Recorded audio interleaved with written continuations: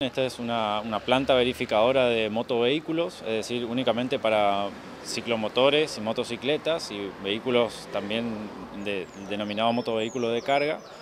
Y bueno, básicamente eso, automotores no, digamos, como para hacer la salvedad eh, de, esto.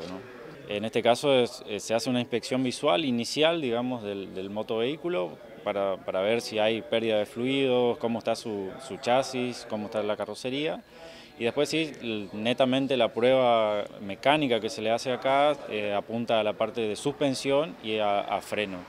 También por otro lado se hace la prueba de emisión de gases, eh, también la prueba de, sonido a través del, del decibelímetro y y bueno, también la, cuestión del estado de los neumáticos, que también se hace a través de una medición, eh, el funcionamiento correcto de todas las luces, que también se hace la, verificación de esto, ¿no?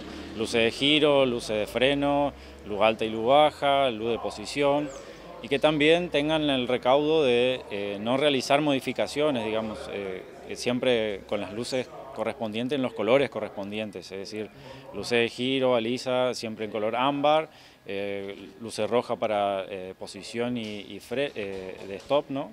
y bueno, las luces reglamentarias de luz, baja y alta. ¿no? Bueno, aparte la documentación correspondiente. Sí, bueno, la documentación que, exigimos acá es la misma que se exige en la calle, ¿no? O sea, tiene que venir con la cédula, con el registro, o sea, con su, con su eh, habilitación para conducir el, el motovehículo, eh, seguro, eh, tiene que tener también vigente. Y, bueno, es eso, digamos, no, no, necesariamente puede venir el propietario, puede venir otra persona, pero tiene que acreditar todo esto que digo, ¿no? Además, sí, por supuesto, el, el casco, digamos, correspondiente, que también vamos a insistir mucho en que los cascos sean los reglamentarios. Bueno, a partir de la habilitación de este centro de verificación, eh, normativa exigible para eh, presentar ante autoridades aquí en el municipio, en ruta también.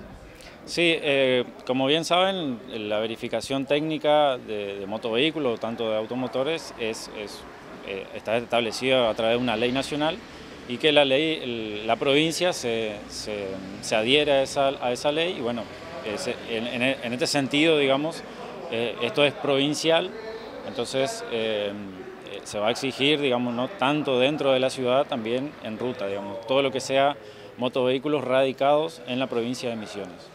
Soy de Capioví, de Garuapé, ¿puedo venir aquí a hacer la verificación? Sí, por supuesto, sí, sí, sí.